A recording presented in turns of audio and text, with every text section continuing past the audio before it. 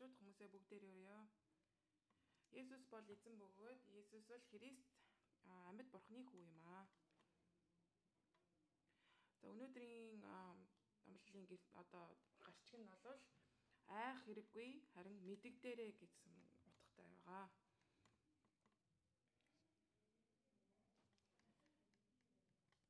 Тэгээ хүмүүсийн хамгийн их айдаг зүйлийн дэлхийд айдаг зүйл бол айц.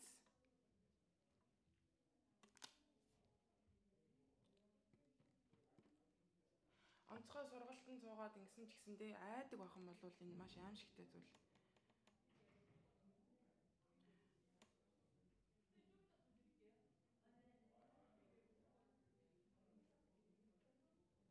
Тэгэхээр бүгдийг бүтээсэн, биднийг бүтээсэн бурхан а энэ айдас байгаа гэж хэлсэн байна. Хүмүүс бол тэр өөрийнхөө тэр айцыг давахын тулд одоо хичээж идэг. Би бол өөрийнхөө өөрийнхөө маш их ихэд эд хөрөнгө хураавал өөрийнхөө айцыг алга болгоно гэж боддог. Эсвэл бол би маш их хүчтэй байх юм бол хүч чадалтай байх юм бол би өөрийнхөө айцыг ялж чадна гэж боддог. Тэгэхээр энэ айц гэдэг зүйл бидний дотор байж идэг шүү. Гэхдээ гаднаас хүмүүс хараад тэгж болохгүй. Тэгж бодохгүй хэр байсан ч гэсэндээ бид нар дотроо тэр айцыг мэдэрж байгаа тийм тохиолдолд энэ бол бас энгийн зүйл юм аа. Энэ айц гэдэг бидний дотор байдаг тэр мэдэрдэг айц гэдэг зүйл бол ерөөсөө энэ асуудлын одоо эхлэл юм. Яагаад гэвэл бид нэр бурхнаас салгагдсан байсан тэр анх бид нэр хүмүүс хүн төрөлхтөн бурхнаас салгагдаад бид нэр тэр айц бидний дотор орсон.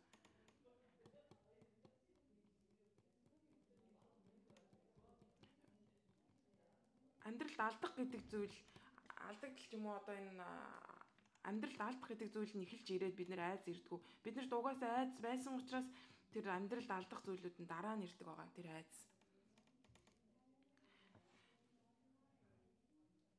Тэгэхээр өөрийнхөө хүслээр биш харин бурхны хүслээр амьдрахад бол би энэ айц гэдэг зүйлээс айх хэрэггүй маа Есүс Христ дагалдагчныг дуудаад тэгээд тэр талбар руу тэр өөрийнхөө дагалдагчныг илгээсэн байна.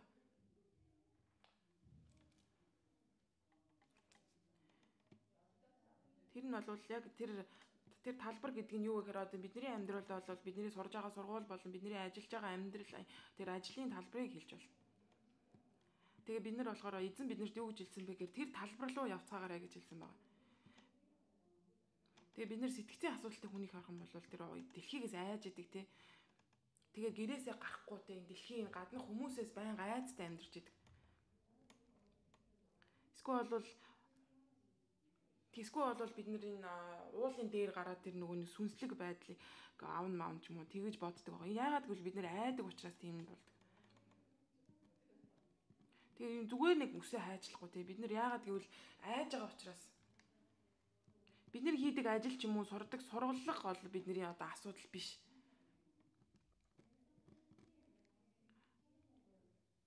Тэгэхээр яагаад энэ ажлаас болоод тэ тэгж байгаа айц тэр ажлаас болоод одоо хийхгүйгээ хасаар аргагүй айц ч гэдэг юм уу энэ хүнээс ирэх айц гэж байдаг бахны.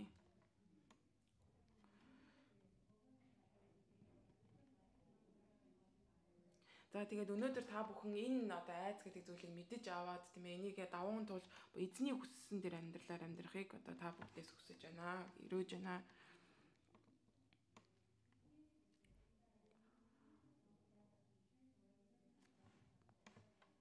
За өнөөдрийн үг бол юу гэж байгаа вэ гэхээр шавн а одоо багшаасаа илүү дээр гардаг гүмаа гэж хэлж байгаа. Тэгэхээр шавь хэдий лаг лаг мундаг байлаа ч гэсэндээ багшийнхаа дээр гардггүй гэсэн. Тэгэхээр яагаад гэвэл мундаг гарах юм бол багшаасаа дээгүүр болно тий.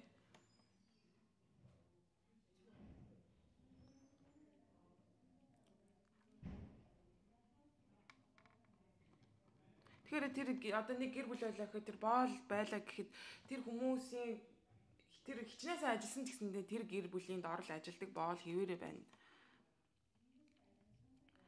Тэгэхээр Есүс Христ юу гэж хэлсэн бэ гэхээр Тэгэхээр Есүс хэрэг тэгээд Израиль хүмүүс юу гэж хэлсэн бэ гэхээр та та нар буруу байна гэж хэлсэн. Тэгэхээр энэ Израиль хүмүүсийн хийж байгаа зүйлүүд нь Бурхны эсрэг байна гэж хэлсэн Есүс Христ ирээд.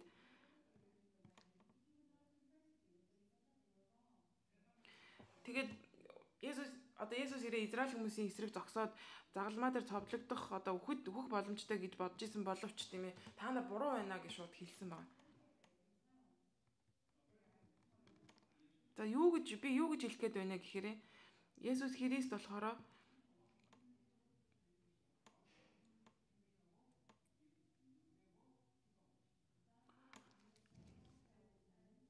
Тийм учраас Есүс Христ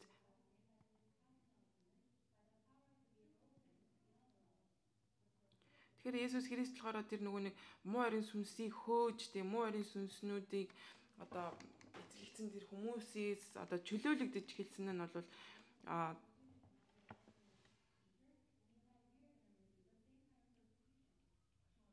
Тэгэхээр юу гэсэн утгатай вэ гэхээр одоо нөгөө нэг шавн багшийнхаа боол эзнийхээ дээр байдгүй гэсэн ямар утгатай вэ гэхээр бид нар ч гэсэндээ адилхан одоо тэр шийтгэлийг авах юмаа гэж ягарч байна.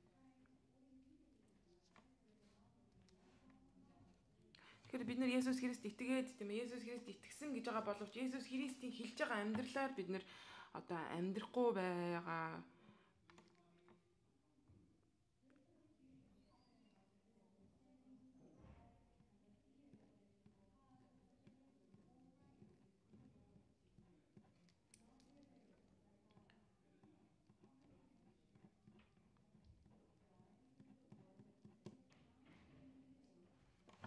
Тэгэхээр одоо энэ зүйлүүдээс тийм ээ ийм зүйлүүдээс битгий айгаарэ гэж байна. Яагаад гэвэл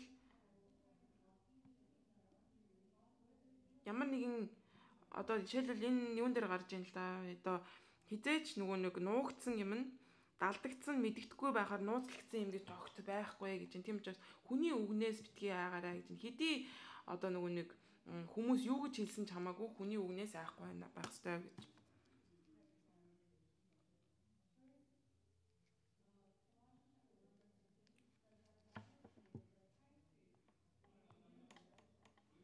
Колосын номон дээр болохоор 1:16 дээр юу гэж гардаг вэ гэхээр Есүс учир нь түүн дотор тэнгэр ба газар дэх бүх юмс үзэгдэх ба үл үзэгдэх бүх юм хаан ширээнүүд эсвэл ноёрхлууд удирдлагууд бүх юм мэдлүүд нь бүтээгдсэн гэдэг.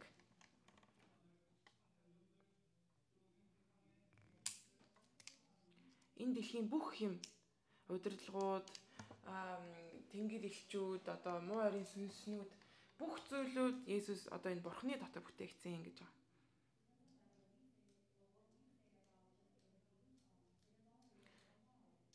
Бид нар юу гэж хэлэх нь бол хамаагүй дээ. Энэ бүх зүйлүүд бурхан дотор бол бурханд олон бурханаар бүтээгдсэн байна. Тэгэхээр энэ зүйлүүд бурханы төлөө бүтээгдсэн бөгөөд бурханы дотор байж байгаа бурхан эдрийг дээш нь босгод одоо бүх зүйлийг одоо удирч идэг аа бидний ажил, бидний сурлага энэ зүйл бол бүгд Есүс Христ их дотор байдаг. Есүс Христийн төлөө байдаг. Айгүй олон хүмүүстэй маш олон хүмүүс цуглаанд бүр бага наснаасаа явсан боловч энийг ойлгоогүй байж идэг. Есүс Христэд итгэдэг хүмүүс Есүс Христийн төлөө биш харин өөрийнх нь төлөө итгэдэг хүмүүс олон байдаг. Тэгэхээр энийг ингэж явах юм бол энэ шашин болчиход байгаа. Будаа хүмүүсийг харах юм будаа гэж ярьдаг боловч юм хийж байгаа юм тийм ээ. Тэг дандаа өөрсдийнх нь төлөө хийж яадаг. Тэгэхээр бүх шашинг харах юм бол тэдний дандаа өөрсдийнхөө төлөө ямарваа нэг юм гуйж идэг. Олон хүмүүс ч гэсэн тийм яг тийм хүмүүс энэ цуглаан дотор ч олон байдаг.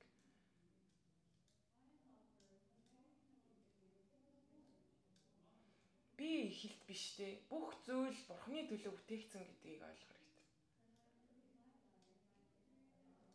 миний амьдрал дээр миний бүх материалын зүйл бүх зүйл материалын зүйл миний одоо байгаа бүх юм бурхны төлөө байх хэрэгтэй.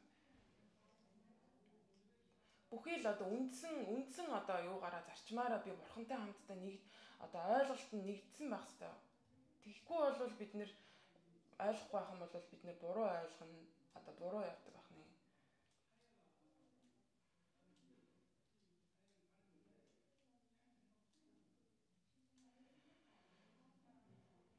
би Ютад байдаг нэг пастраас одоо дуудлага авсан л да. Тэгсэн чинь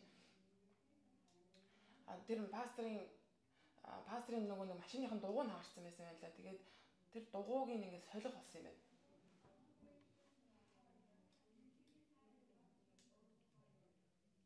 Тэгэхээр тэгэхээр юу гэж хэлсэн бэ гэхээр би ингээд нөгөө нэг дугуугаа солих юм бол хоёр дугуугаа солиорой гэж хэлсэн. Тэгсэн чинь нөгөө пастор өө тийм үү яана хоёуланг солих хэрэгтэй мөсөн чинь тэгстэй гэсэн ба. Яагаад гэвэл нэгийг солих юм бол нөгөө юм дали болно. Яг тэрнтэй адилхан бид нэр одоо нөгөө нэг нэг дугуун дали байгаа машин шиг ингээд дуу гаргаж ингээд явах ш. Бид нэр бурхантай яг адилхан одоо энэ зарчмаа адилхан болохгүй байх юм бол амьдралынхаа зарчмыг адилхан болохгүй байх юм бол бид нэр яг тэр дуу гаргаж айж иж явдаг машин шиг байх болно.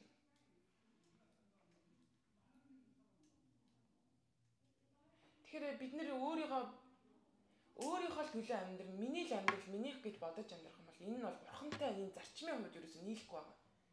Тийм учраас бид нэр бурхантай энэ зарчмаа нийлүүлэх хэрэгтэй гэж би хэлээд байгаа. Тэгэхээр бид нар болохоор цуглаанд ирж байна гэдэг нь бол бидний эхлэл байгаа. Шинэ одоо эхлэл. Тэгэхээр бидний итгэлийн амьдрал гэдэг зүйлээ бид нэр эндээс эхэлдэг байгаа. Цуглаанд явхаас эхэлдэг тийм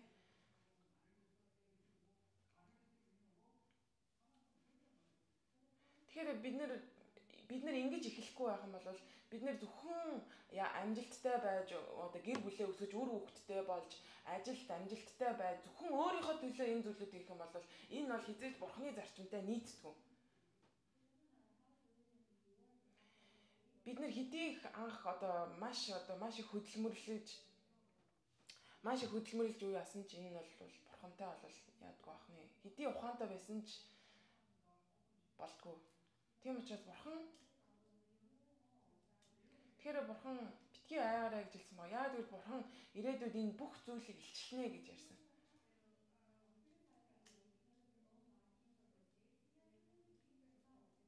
Тэгэхээр бид нэр өөрийнх нь бусад хүмүүс бидний одоо дутагдaltaй талыг ч юм уу хэлж шүүмжилж байгаа юм бол бид нэр ингээ өөрчилдөг тий.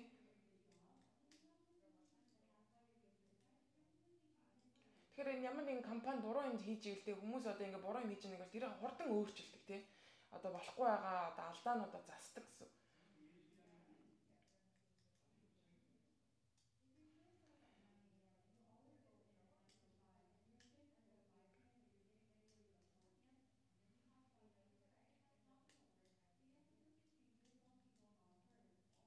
Тэгэхээр бид нэр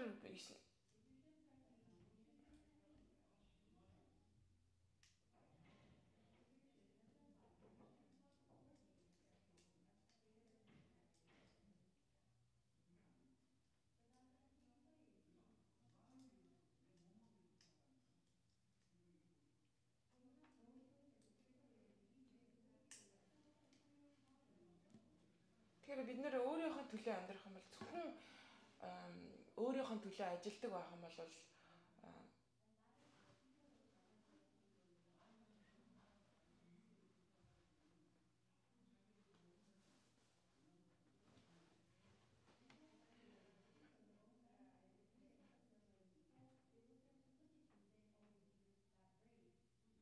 Тэгэхээр хүмүүс бид нар нөгөө өөрийнхөө төлөө биш амьдарч эхэл хүмүүс биднийг шүүж эхэлдэг байгаа.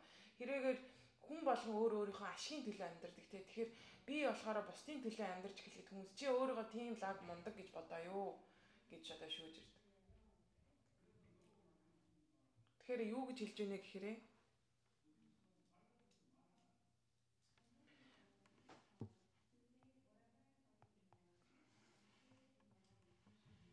Тэгэхээр би ингээд харанхууд хэлснийг нь одоо гэрэлт яриараа гэж хэлсэн байгаа.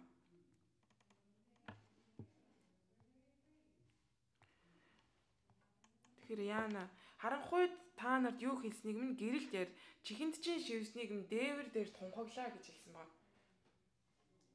Яана одоо би хүмүүс намайг одоо юу яавал яана ингэж а санаа зовох өрөөсөө хэрэггүй те.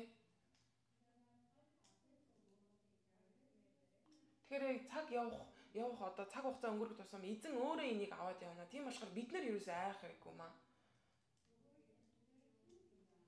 Тэгэхээр бидний явуулсан илгээж байгаа газар маань бурхан энийг бидний хилээсэй гэж л явуулж байгаа.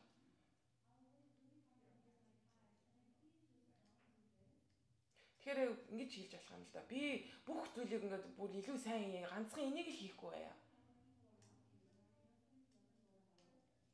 Тэгэхээр оюун энэ олон хүмүүсийг таны эргэн тойронд байрлуулсан байна. Энэ хүмүүсийг тэ та энэ там руу яваасаа гэж хүсэж байгаа юм уу? Тэгээ энэ зөвхөн энэ бурхны хийсэн хийсэн одоо юм руу одоо хийлсэн зүйлийг хийхгүй гэдэг юм бол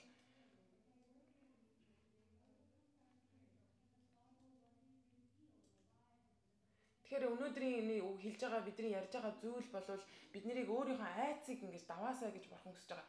Яагаад гэвэл нэг өдөр нэг өдөр бүх зүйл нь ил болно гэж бурхан ярьж байгаа. Тэгэхээр бид нэр өөрийнхөө амьдралын төлөө, өөрийнхөө амь амьдралын төлөө бити одоо айгаарай гэж бас хэлсэн байна.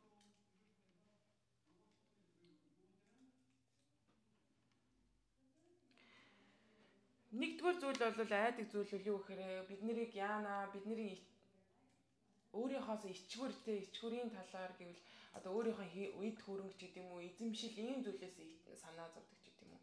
Ийм зүйл. Хоёр дахь зүйл нь бол өөрийнхөө амьд амин амьдралыг алдчихгүй дээ шоронд нэг л хүн ганцаараа айдгүй. Одоо шоронд байдаг нэг хүний ганд нэг л хүн айцгүй хэн бэ гэж бодож байна. Одоо гард гэж бодож хүмүүнийг шоронгийн захирагч гэж бодож байна уу тэр хянагчд гэж бодож байна уу Тин дотор ганцхан айдаг хүн юу айдгүй хүн яадаг гэхээр одоо цаазын одоо ял сонссон хүн байна.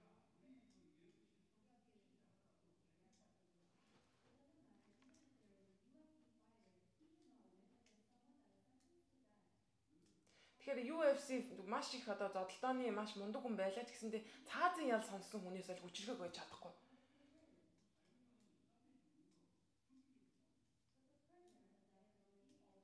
цаазаар Тэгэхээр үхэл үхлийн одоо юу дээр ял сонссон дээр цааз ял сонссон хүн бол юунаас ч айдгүй байгаа. Тэр үхэхийн төлөө ингээд амьдарч байгаа хүн байдаг. Тэгэхэд энэ Библиэлд одоо муу ариусс юу барьж иж бидрийг айлгадаг вэ гэхээр ерөөсөө Еврей номын Еврей намын 2 2:14-өөс 15 хэрэгтэй бидний өгчих вэ гэж айхаас сатан тэрэн дээр тоглолт явуулдаг. Тэрнээс биднийг барьж идэг гэж хэлж байгаа. Бид нар яаж энэ айцыг бид нар даван туулах вэ тэгвэл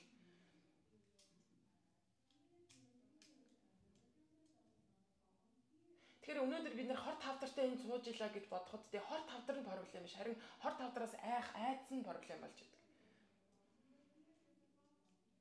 Алдаа алдчихгүй гэж айх тэр айц биш тий алдаа нь тэр алдчаа тэр айх айц биш. Алдчих үедээ гэж айх нь айц байгаа маш их хэцүү.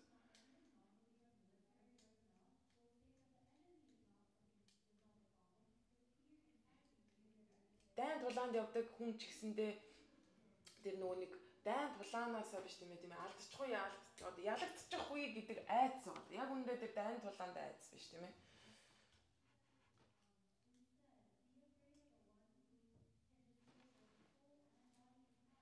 Тэгэхээр Матай номын 10:24-өөс 33 дээр 28 дээр юу гэж гарч юм гэхээр энэ зүйлүүдээс айх биш, хэрэггүй юмд айх биш, харин тэр сүнс болон биеийг хоёулангийн одоо устгаж чаддаг тэр нэгнээс айгаарай гэж хэлсэн байна.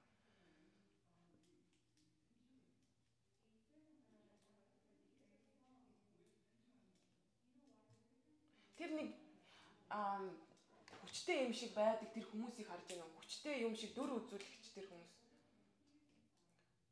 Тэгэхээр тэр хүмүүс яадаг вэ гэхээр тэр дотор байгаа айцаа гадна гарахгүй тул хүчтэй юм шиг дүр хэсэгдэг. Тэгэхээр заримдаа хүн тийм хүмүүс харагддаг шүү дээ. Гаднаасаа маш их болчинтай мундаг биетэй. Ямар ч аа юмнаас айхгүй юм шиг харагддаг бол заримдаа тэр хүмүүс дотроо жоохон хүчтэй байж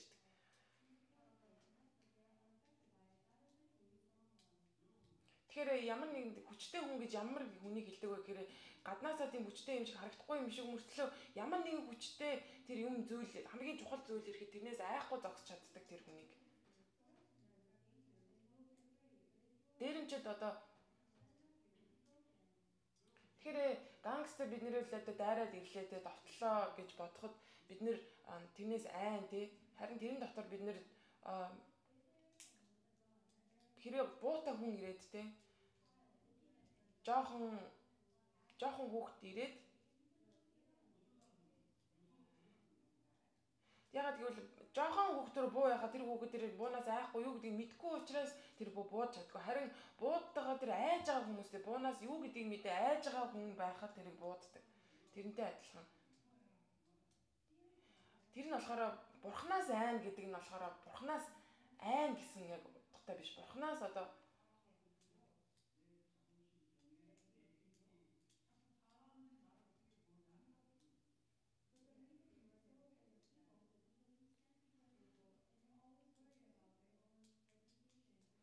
нар хүнээс айдаг, хүн хүмүүсийн дунд орохоос айдаг нь гэдэг нь бид нар болохоор бид нар бидний нэр мэр хугарчихгүй, бид нар намаа гимтээчгүй, одоо тэр үгийг одоо сонсоод би яачих вэ гэсэн ийм дандаа хүмүүсийн одоо бодлоор амьдардаг учраас бид нэр айдаг байгаа хүмүүсээс.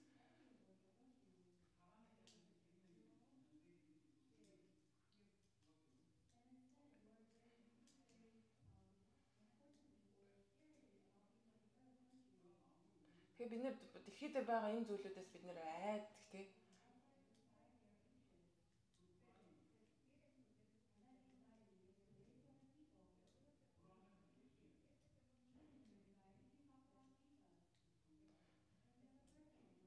Тэгэхээр бид нэр айсан ч байсан ч гэсэндээ Есүсийг ярихсан тохиолдолд тийм ээ.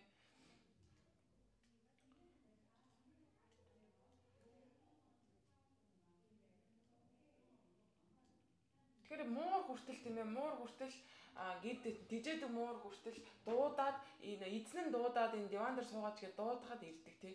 Яг тэрнтэй адилхан. Магтаал гэдэг бол бурхны өмнө зогсохыг хэлээд байгаа маа. Тэгэхэд бурхан бидний амьдралд биднэрт аа ивэл өрөөлийг өгч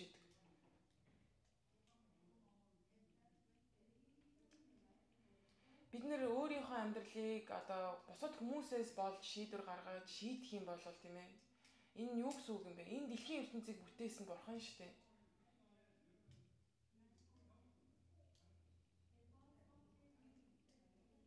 Өнөөдөр бурхан миний амьсгалыг өнөө шин дөөр боох юм бол бид нэр явах л болно.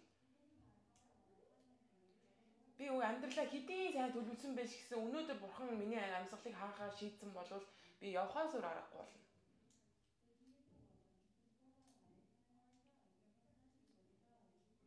Тэгэхээр бид нэр бидний тэр ганцхан шүүгч байгаа бурхан бөгөөд бурхан энийг бүх сүулт нь бүгдийн шүүн гэж ярьсан.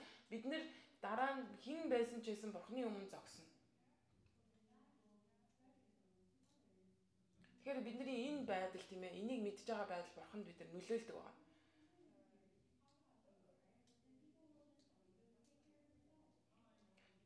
Тэр бид нар өөртөө жичрээд тэ тэгсэн мэтлээ Есүсийг ингээ ярьлаа гэж бодъё.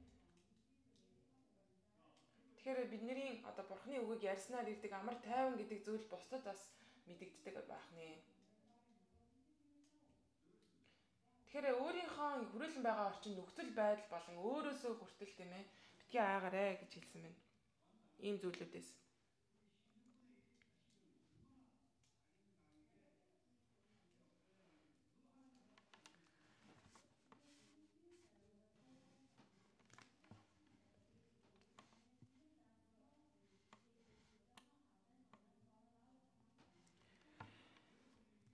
бор хоёр бор шууг задгаа зоосор худалдаг босуу эцгийг чинь зөвшөөрөлгүйгээр тэдний нэг нь ч газар тунахгүй гэж хэлсэн байгаа. Та 829 дээр.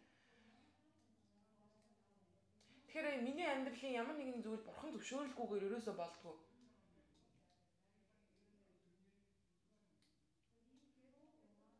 Яг ийм хүмүүс бол тийм ээ.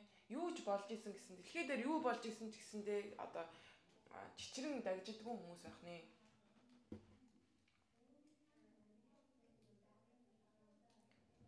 Бид нэр үхлийн хар гүндийгээр явах тийм үе байна. Гэвч гэвч биднэрд өнөөдөр тэр хон одоо хончтой залдаг тэр хончин байхад бид нар юунаас ч айх хэрэггүй.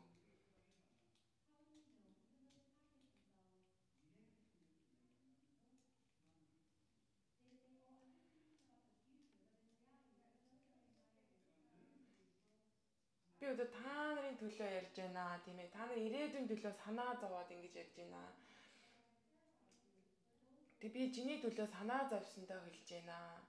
Гэх юм бол ерөөсөө яг үнэндээ Тэгэхээр ерөөсөө өөрийнхөө одоо нөгөө нэг айцыг л айцыг л дамжуулж идэг.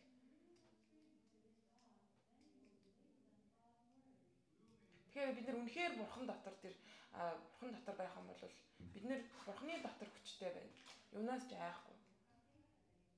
Тэгэхээр бид нэр бусад хүмүүсийг одоо яг энэ байдлаар тэгээ бурхны энэ байдлыг амар тайвныг дамжуулж өгч тэдний сүнсийг авардаг нэ. За 30 дээр болохоор 24-ийн 30 дээр юу гэж хэлж байна гэхээр Матай номын 10-ын 30 дээр та нарын толгой дээрх ширхэг үс чинь хүртэл тоологдсон гэж байгаа. Тэгэхээр бид нөр өөрийнхөө үсгийг тоолох юм бол тэгээ өөрөө бүр замдаа тэр замбраагаа алдаа тоогоо алдаа тоолж чадахгүй. Эсвэл бол бүр ямар ч үсгүй байх тохиол байна. Тэгэхээр би үстэй хүмүүсийн талаар ярьж байгаа шүү. Үс засдаг хүмүүс хизээж үсийг тоолж чадахгүй. Гэвч бурхан чаддаг. Би чиний энэ юу гэсэн үг юм бэ гэхээр бидний бүр хамгийн гүн гүнзгий дэх намайг хүртэл мэддэг гэсэн үг. Тэгэхээр бидний жинхэнэ тэр сэтгэл хөдлөл хаана гэдэг вэ? Миний би хэн бэ гэдгийг бурхан хамгийн их мэддэг.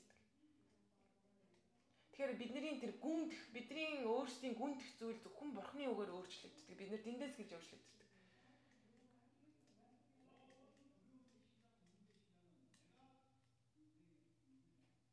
Бүх айдас, бүх проблем, бүх зүйл ерөөсөө би өөрийнхөө би өөрөө амьдралынхаа эзнэ гэдэг зүйлээс эхэлдэг.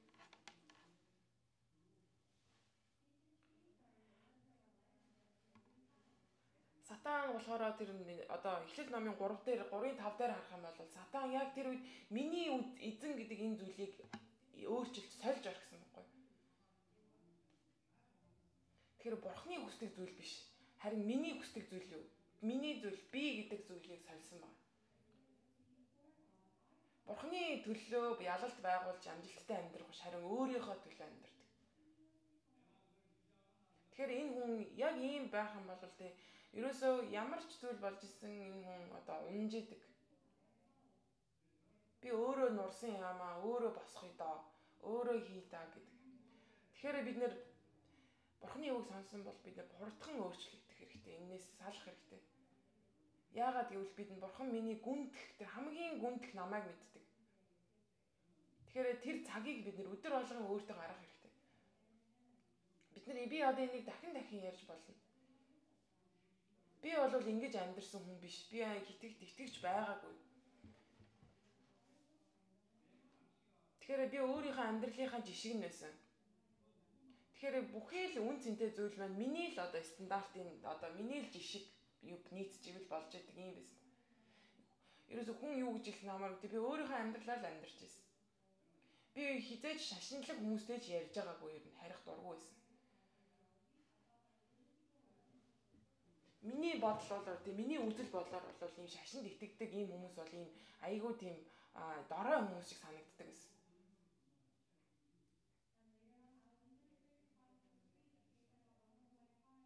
Тэгэхээр би болохоор сүулдэ бүр яасан бэ гэхээр тэ машин замаарч гарч чаддаг бас. Яа тэгвэл машин замаар гарч байгаа дайруулаад өгчүүл яана гэж айдаг тий. Тэгээд орой унтж байгаад хүртэл ямар нэгэн дүрс том болоод жижиг болоод гэдэг юм уу. Тэгээд би одоо өдөр болгон арх ууж ирсэн. Ерөөсөө энэ зүйлийг мартахын тулд тий. Тэгэхээр маш хөдөлмөрж иж болно гэж боддог. Би ч гэсэн тэрийг оролдож үзсэн. Би үнэхээр маш зөв амьдралаар амьдрийж хичээж үзсэн байна. Амьдралд энэ болдгоо байгаа байлээ.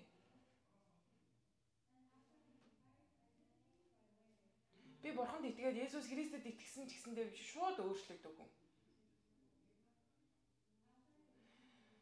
Би Есүс Христ итгэсний дараа ч гэсэндээ миний гүнд байсан хүн бол миний өөрийн одоо амжилт те миний одоо гүйцэтгэл, миний ажил гэж би харж л байсан. Тэгэхээр би өөрийнхөө өөрөө өөрийнхөө юмыг Тэгээд нэг өдөр л одоо ингээд өөрчлөгдөж эхэлсэн байгаа миний амьдрал. Тэгээд би чөлөөлөгдөж эхэлсэн. Би өөрөө өөрөөсөө чөлөөлөгдөж эхэлсэн. Яагаад гэвэл тэр бурхны ивэл өрөөл гэдэг зүйл миний бүр дотор гүн рүү орж эхэлж байгааг би одоо мэдчихэв. Би ерөөсөө айдснаасаа болоод би ганцаараа ч байж чаддаггүйсэн байна. Тэг дандаа найзуудтайгаа уулздаг. Тэг би эхнэргүү тэг гэр бүлгөө байхдаа би орой олгон гарч авч ууж тийм ээ зарих ууж тэгэж найзуудтайгаа уулзчихэж гихтэй хайрдаг тийм эс. Тэгэхээр ганцаараа зүгээр байж чаддаг хүмүүс байдаг. Уудаг, эсвэл заавал ганцаараа хата хүнтэй уцаар ярих ёстой. Тэгэл ерөөсө хүмүүсээр хүрээлүүлж тэгжээж амьдрэх хүмүүс байж байгаа. Тэгэхээр өөрөө өөрийнхөө бурхнаар амьдрсан хүмүүсийн одоо амьдралын үр дагавар нь ингэж харагддаг.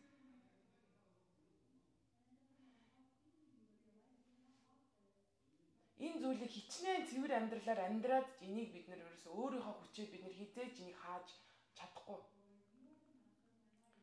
Тэгэхээр бид нар юу гэж хэлэхтэй юм бэ? Эзэн минь ээ та миний эзэн, миний эзэн. Тэгэхээр миний амьдралыг та өөрийнхөө хүснээр хэрэглээч гэж үнэхээр тунхаглах үед бидний амьдрал өөрчлөгдөж эхэлдэг. Тэгэхээр энээс энээс өмнө те тэрийг тунхаглалаас өмнө бид нар үргэлж тэр бодлоготой, тооцоотой, ингүүл тэгин тэгвэл ингэн гэдэг тооцоогоор бид нэр амьдрна. Тэгэхээр яагаад гэвэл бидний бодсон тэр бодлогоор хизээж амьдрал явдгүй л гэдгийг бид нэр ойлгох хэрэгтэй байна. Яагаад гэвэл ээ дахиад хэлье л да. Бид нар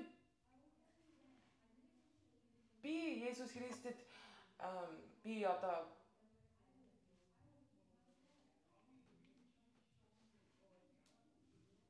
Тэгээ би ерөөсөө өвдсөндөө ч юм уу те юм чаддггүй даа ч юм уу дороодоо ч би Есүс Христ итгэсэн биш. Харин би харин бүр сүүлдээ ерөөсөө би бүр нөгөө өөрөө дотор амар хэцүү байсан те би энэ зүйлээс дутаж чадахгүй юм болох үед тийм ээ удамжаар гар явж чадахгүй болох ийм айцтай болох үедээ бүр яаж чадахгүйсэн. Тэгвэл гаднаа болохоор би яагаачгүй юм шиг юм хүчтэй юм шиг явж байсан. Гэхдээ бид нэр яг энэ зүйл идэрх хэрэгтэй юм аа. Тэгэхээр миний яг амьдралсан энэ амьдралаар та бүгдийг амь битгий амьдраасаа гэж хүсэж байна. Тэгэхээр бидний энэ ань айц гэдэг зүйл сүулдэ бидрийг хөл рүү аваачдаг. Бурхан бүх зүйлийг тоолж байгаа. Бурхан бидний оронд тэр тооцоо тооллогыг хийж байгаа.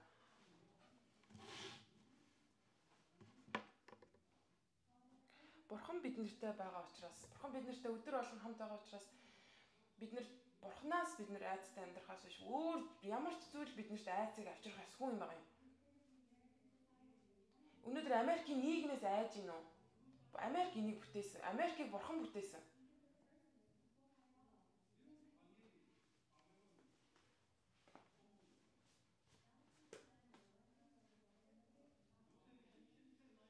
Яг тийм үед тийм ээ Даниэл тэр Бабилон тэр Даниэл гэдэг хүн одоо тэр улс төрлөө ингээд юу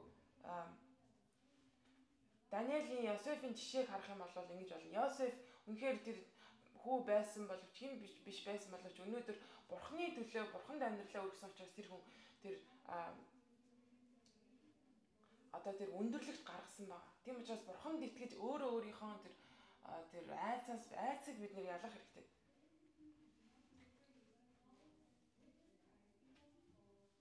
Тийм учраас юунаас ч айх хэрэггүй тийм ээ. Есүс Христийн нэрийг ботон бусдад мэдэгдэж тийм ээ гэрч болон амьдрах хэрэгтэй юм аа.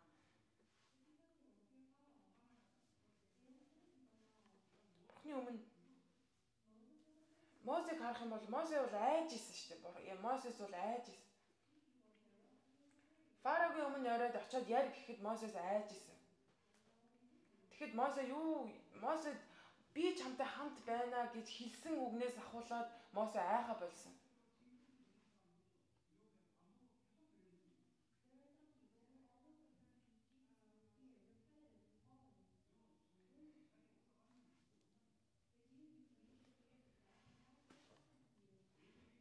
Тэгэхээр бид нэр амжилтын хаалга үү таалгаар орж тэ дээшээ явах үед биднэрт энэ зүйлүүд болдог. Найз гэдэг зүйл дагаж ирдэг. Тэгэхээр бид нар нөгөө нэг мухар сүсэг гэдэг зүйл байдаг тий. Тэгэхээр энэ айцыг даван туулахыг тулд энэ хүмүүс энэ мухар сүсгээр ингүүл тэгнэ ингүүл ингэн гэдэг юм. Тэгэхээр тэр нөгөө нэг лиг тоглож байгаа энэ одоо мундаг энэ баг магийг харах юм бол бүгдээрээ тэр мухар сүсэгт итгэдэг зарим.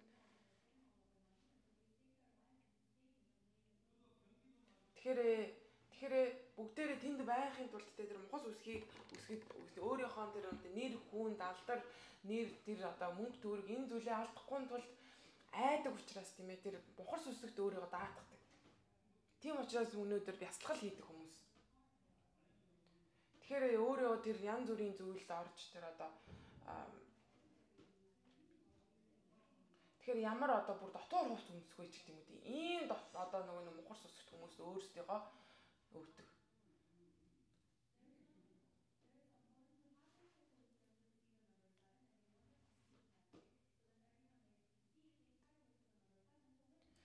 Тэнгүүдээ одоо жишээлбэл 7 7-г харангуутаа тий 7 номерыг одоо тэр тэмцээнд орж байгаа харангуутаа ялчлаа гэж бодё. Тэнгүүд дараагийн тэмцээн болох хүртлээр 7 7 номерыг хайгаад ч гэдэг.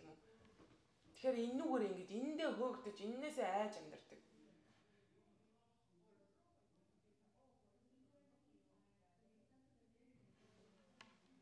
Тэгэхээр өөрийнхөө бизнесийн тэр амжилтын төлөө тэгээд сохорчдаг. Тэгээд ерөөсө тэрэндээ тэрнээсээ хөөгдөж амьдардаг. Тэгэхээр бид нар бид нар бурхны ажлыг хийхийн тулд тэр мөнгнөөс айх айцнаас бид нар гарах хэрэгтэй юм. Тихгүй бол бид нар мөнгөний боол болж амьдарч байгаа. Бид нар бурхных биш харин мөнгөний боол болдог. Энэ бол энгийн зүйл байна.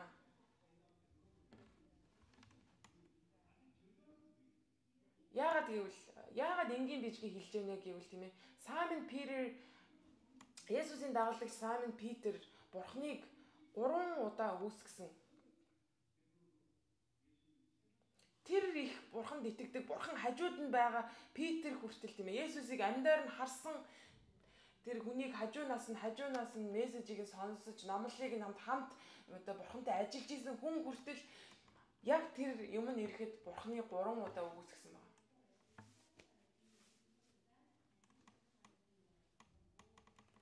Тэгээд дараа нь Тэгэхээр тэр Тэгэхээр тэр нөгөө нэг урд нь тэр нь юуг одоо тэр одоо Питерийг өөрчилсөн бэ? Ямар юм болоод Есүсийг өнөөдөр Питер дараа нь тийм ээ үнэхээр тэр бурхныг одоо гэрчилж тэгж амьдралаар амьдрсан. Юу өөрчлөгдсөн бэ гэхээр тэр дунд одоо загалмай байгаа байхгүй юу? Яагаад гэвэл загалмайн өмнө те загалмай загалмай цавлаас өмнө Есүс Христийг гурав үүсгэж исэн болвол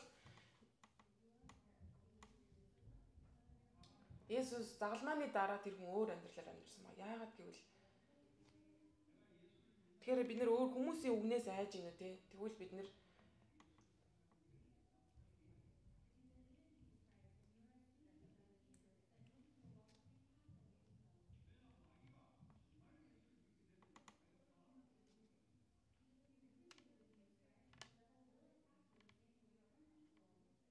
Тэгэхээр бид нэр үнэхээр Есүс Христ итгэдэг болвол тийм ээ сатан ямар нэгэн арга хэрэглэж хүнээр ч хамаагүй дамжуулаад биднэрлийг биднэрлөө довтлно.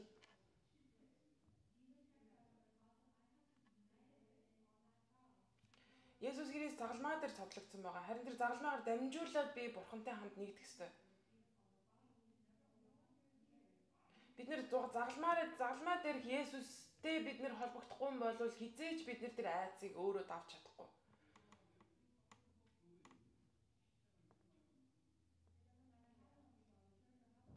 бид нэр хідэн үеэр Есүс итгэсэн ч бай хідэн жил миний цуглаанд явсан ерөөсөө хамаагүй би үнэхээр Есүс Христийн загалмайтай хамт явахгүй юм бол энэ нь болох хамаагүй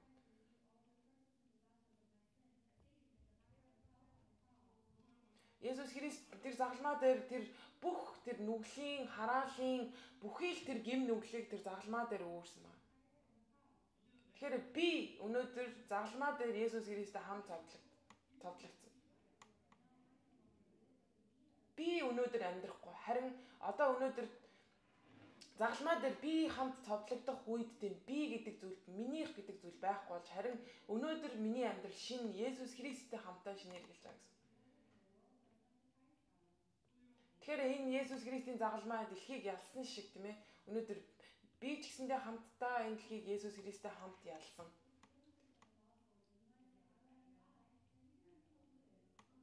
Тэгэхээр бид нар өнөөдөр Есүс Христийн энэ энийг ойлгохгүй, энэ үхлийн ямар утга учиртай байсныг ойлгохгүй, сайн мэдээ гэдэг зүйл юунаас олж ирж байгааг ойлгохгүй, би үхмээргүй байна гэж хэлэх юм бол бид нар буддаа болж болно. Тэгэхэд бид нар өнөөдөр Есүс Христ итгэдэг итгэгч нар Есүс Кристиан гэж ярьж байгаа бол бид нар өнөөдөр бид нар загалмаа дээр Есүстэй хамт цовдлогдсон гэсэн үг.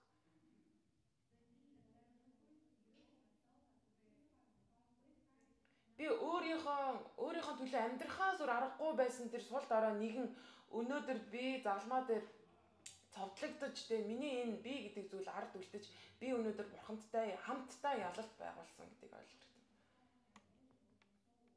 Тэгэхээр миний бурхны хаанчл гэдэг зүйл миний бие махбод миний зүрх сэтгэл миний одоо бүхий л зүйл тэр нэвчин орж бурхан надтай хамт байгаа гэсэн. Тэгэхээр Есүс Христ намайг контролддог гэсэн. Яаж контролж юм? Ярун сүнсээ гэдэг надад үлдээсэн тэр ариун сүнсээрээ үүдэн өнөөдөр надтай хамт байгаа.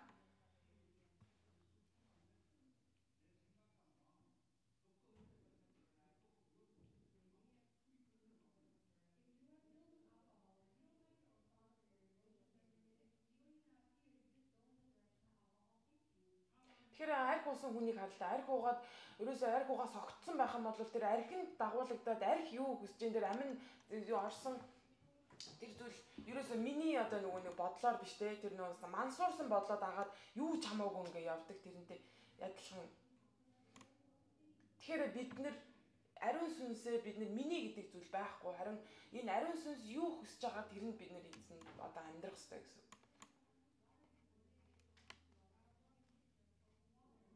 Тэгэхээр Coca-Cola дотор ус хийгээд үзээ дүүрэхэд энэ хэдий ус ийсэн чи ингэж ус болохгүй. Ямар ч байсан л Coke-тэй хайлтсан ус болно гэсэн.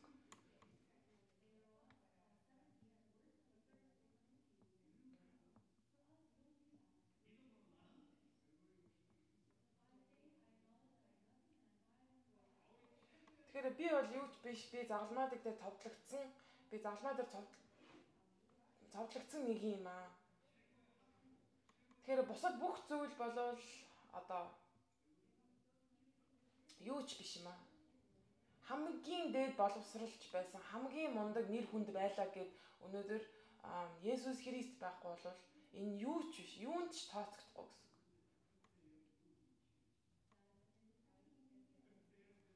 Тэр үед өнөөдөр бид нар энэ үед ирэхэд тийм ээ миний сэтгцийн асуудал гэдэг зүйл өнөөдөр миний үе удмаас ирсэн тэр хараал гэдэг зүйл тэр сүнсний асуудлууд тийм ээ тэр үндсэн асуудлаас ирж байгаа тэр зүйлүүд намайг одоо боомлж байгаа тэр зүйлүүд өнөөдөр тавигдана гэсэн. Юу вэ гэхээр итгэлээр дамжуулаад.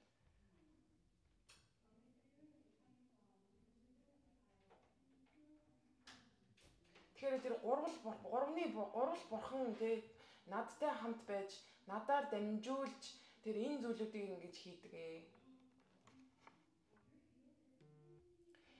Бидний явж байгаа тэр талбарууд бүгдээрээ муурын сүнсээр дүүргэсэн байгаа.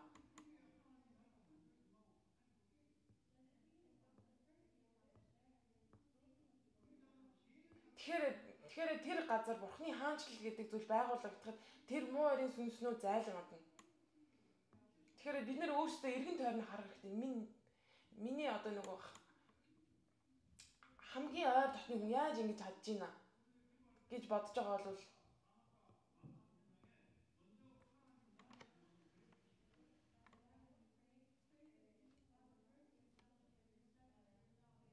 Тийм учраас бид нэр залбирах хэрэгтэй. Өнөөдөр миний ажиллаж байгаа талбарт тийм ээ. Өнөөдөр миний ажил ажиллаж байгаа, сурах байгаа тэр талбаруудад Бурхны хаанчлал байгуулагдаж тэр муу өрийн сүнсний ажиллагааг бид нар нураа Бурхны хүчээр нурааж нураах хэрэгтэй гэж хэлээд байгаа.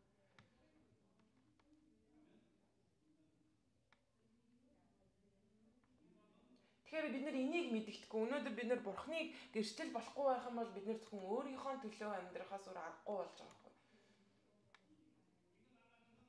Тэгэхээр бурхан минь та өөрийнхөө хүсэж байгаа зүйлийг надад өгөөч.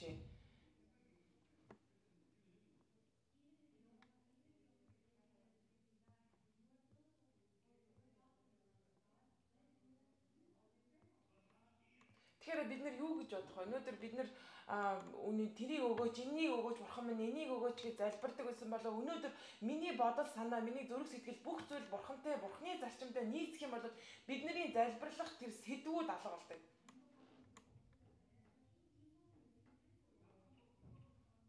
тэр бурхны зүн цуглааны байгуулалтын бурхны хариултыг авахуд болно.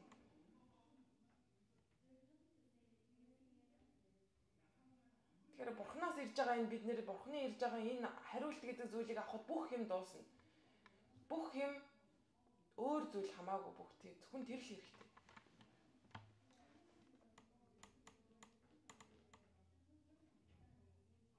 Тэгэхээр би өөрийнхөө бизнес амжилттай байя гэж бодсон бол бид нэр харин бурхны үгнээс хол байх юм бол энэ ямар утгатай учиртай юм бэ? Бидний бүх амьдрал бурхны гарт байдаг.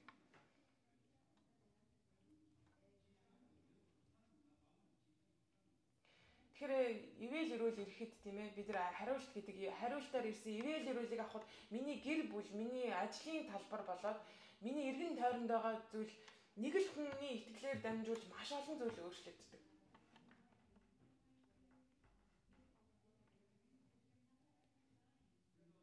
Тэгэхээр зөвхөн өөрийнхөө төлөө амьдарч өөрөө өөрийнхөө энэ бодлыг ялах гэж амьдрахад өөрөө өөрийнхөө төлөө амьдрах юм бол хин эцэстээ үхэл рүү аваачдаг.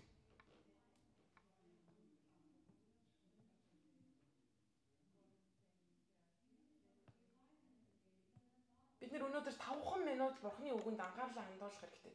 Бурхны өнөөдөр тэр 5 минут өнөөдөр тэр олон мянган жил явдаг байгаа. Бурхны өнөөдөр ирсэн биднэрт өгч байгаа тэр үг гэдэг зүйл. Тийм учраас өнөөдөр тэр 5 минут юу вэ гэхээр өнөөдөр бурхан минь та миний амьдралд ажиллаа хийгээч гэдэг дээр бид нэр 5 минут анхаарлаа хандуулах хэрэгтэй.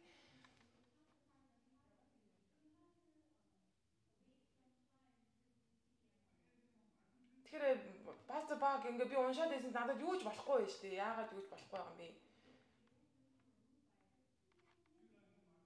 Тэгэхээр өнөөдөр өнөөдөр хүүхдүүдтэй өнөөдөр бурхны үгийг уншаад юу ч болохгүй байна. Гэвч биднэрт бас нэг цаг тодорхой хугацаа хэрэгтэй. Энэ юу ч болоогүй биш тийм ээ. Харин бид нэр тэрийг бичиж аваад бид нэр өөрөө өөртөө тунхаг бурхны үгийг өөрөө өөртөө тунхаглаж бид нэр энийг үргэлжлүүлэн хийх хэрэгтэй. Яагаад гэвэл бурхан өнөөдөр тэр үгээрээ дамжуулж өнөөдөр өөрийнхөө аюуг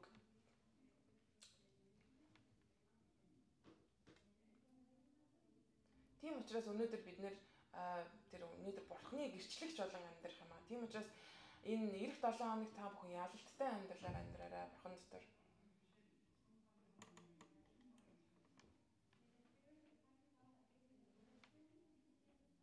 Тийм болохоор энэ гурвлаар байх чинь бурхан өнөөдөр энэ үгийнхаа хүч чадлаар надтай хамт байх болтугай. Тэгэхээр энэ 7 хоногт байх минь надад өгсөн, миний амьдрал өгсөн тэр талбар дээр эзэн надтай хамт байх болтугай. За бүгдээрээ залбирцгаая.